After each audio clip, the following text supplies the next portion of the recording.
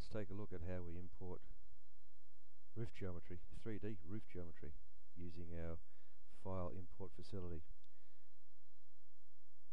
First of all, you have to save the geometry as an RxF file or an XML file in the user folder so that it's easy to find. You simply go to File, Import XML or RxF, select the file you wish to import, select Open, and the geometry is instantly created. How handy is that? That's all there is to it, and everything you need to know about that job.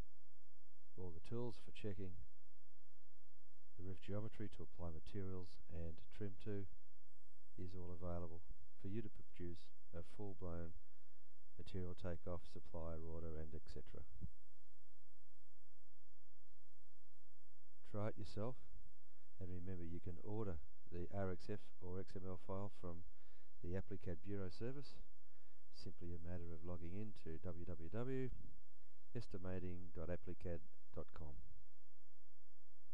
That's all for now. See you soon.